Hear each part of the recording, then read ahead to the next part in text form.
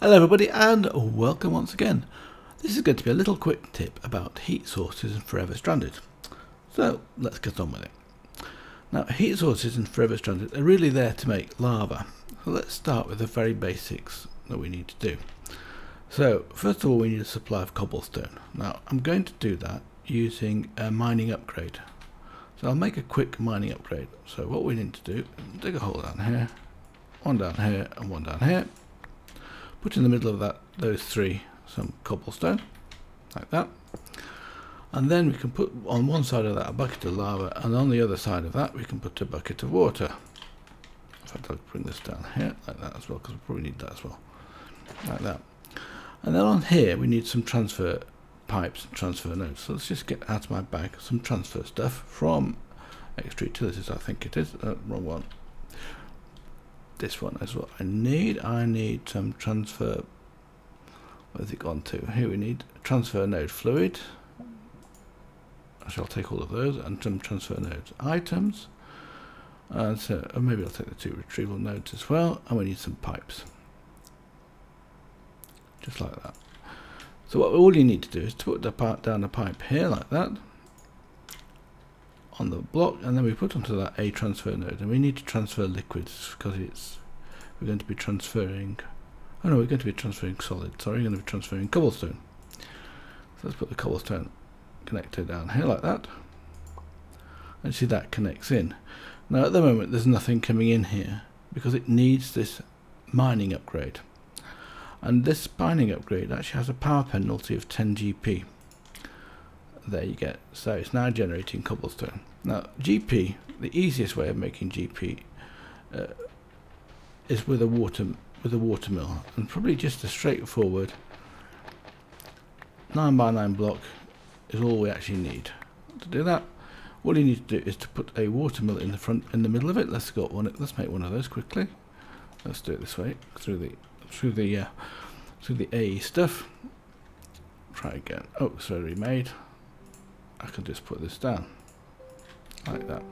All we need to do is put it in the middle and then to put a water source beside it, let's do it like this, get the bucket of water ready. So we take one bucket on one corner, one bucket on the other corner and that will then give us 16 GP. And as you add these together you can simply just take some more buckets of water, if I missed it, try again. Put one at this side and one at this corner like that and then you can still get your 16 GP because the water's flowing. It's as simple as that. Anyway, so if you need two, you just put the next one down here, and so on and so forth. Right, now, so what we need to do now is the very first thing you needed to do in here, in here was to make some cobblestone, and that was a was a bit faffy when you first start doing um, Forever Stranded, but you get there in the end, you make one piece of cobblestone, you can then put that into a crucible. And underneath the crucible you put a torch, so let's get a torch out, here like this put a torch down here. And on top of that torch we can put a crucible like that. And then this will start to get lava. And if you look on um, Waila you'll see it's creating lava at a speed of 2 millibuckets per second which is quite slow. But it does eventually produce lava. And after a while you've got a block of lava. So let's do the same thing now and I'll bring this pipe around the side here I think is probably the best option. Like this.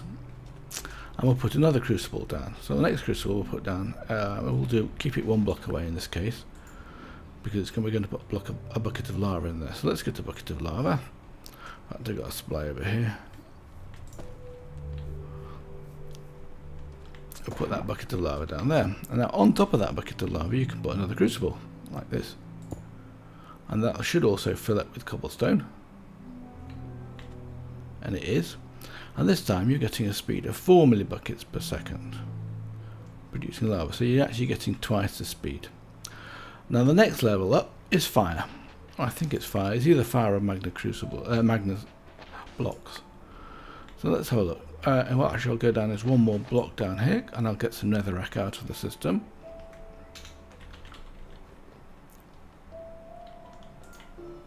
Like that. Put the block of netherrack down the bottom of here, and I'll bring, of course, I'll bring the transfer nodes across here like that. And then I'll have to light this, so I'll need a, um, maybe I've got one in my thing, a flint and steel. I'm having difficulty seeing it as usual.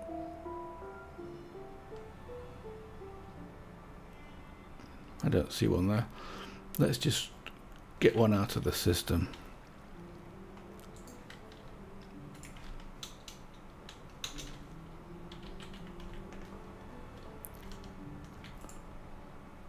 That's actually in the indexer. And then we can light this like that. And that, that's burning, and that'll carry on burning forever because it's netherrack. We can put the next crucible down like this. And that'll start to fill up with cobblestone. Takes a while. In fact, what we can do is to speed this up as well, so we can actually put some speed upgrades in here. And that'll generate cobblestone at a faster rate.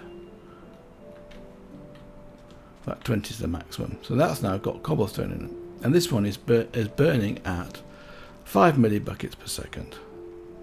So that's faster. The next one along is a magma block like this. Now the recipe for, let's move this, I don't need to like this.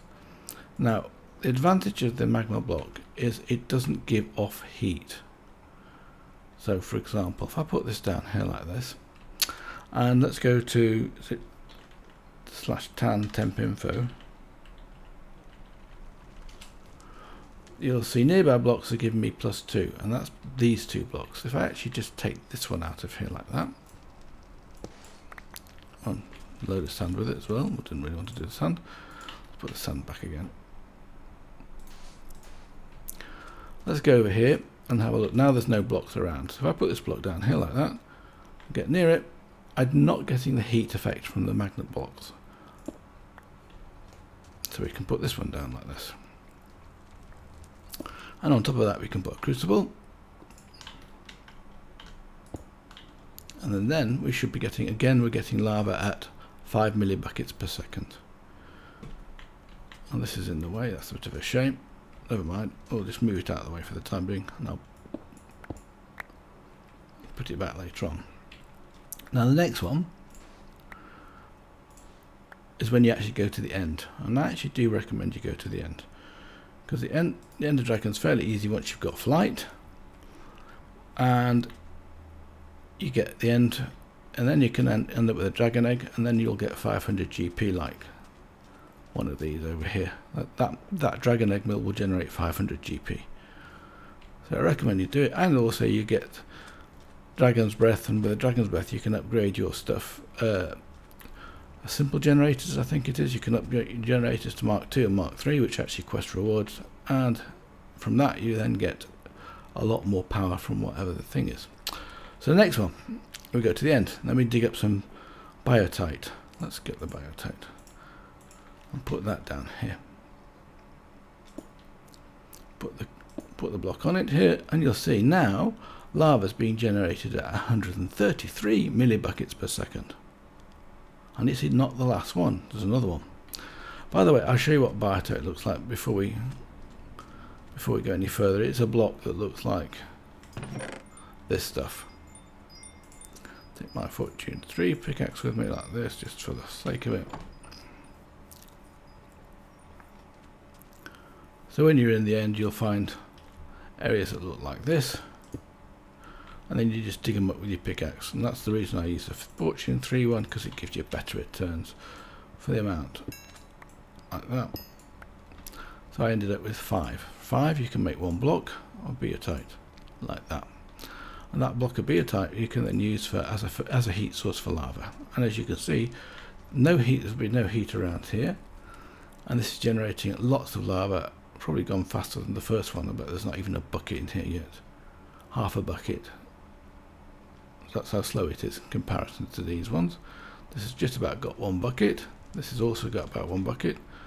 This is halfway through and this has got seven buckets of lava already. But there is one more and it's faster still. Let's go and get that one.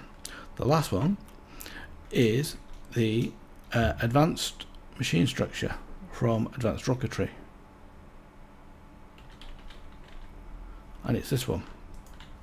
It looks like that and the recipe for this I'll put it in there Um, let's do that again then. The recipe for this is actually fair. It's reasonably expensive in titanium, but it's not astronomical. Oops, I need to do it. I need to do that? Probably better take one with me and then like that. And then have a look at the recipe for this. So you need five titanium rods and five four titanium sheets, and that will make 16 advanced machine structures. Now, how much better is this one? Let's have a look. It's 240 millibuckets per second. So that's already generated the first bucket of lava. It's that fast. So that's it. That's it. Lava generation in a nutshell in Forever Stranded. So, till next time, bye for now.